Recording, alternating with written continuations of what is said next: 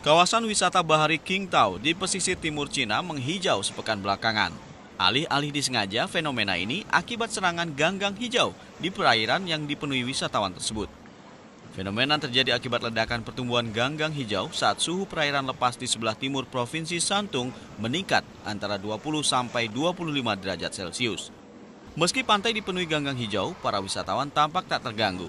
Sambil berenang di antara karpet ganggang, sebagian turis bahkan tak ragu membawa pulang ganggang hijau untuk souvenir. Terkait fenomena yang kerap berulang tujuh tahun terakhir, otoritas wilayah Qingtao kini harus membersihkan sekitar 4 hingga 5 ribu ton ganggang hijau setiap hari. Ganggang hijau hasil pembersihan kemudian dikeringkan untuk dijadikan pupuk.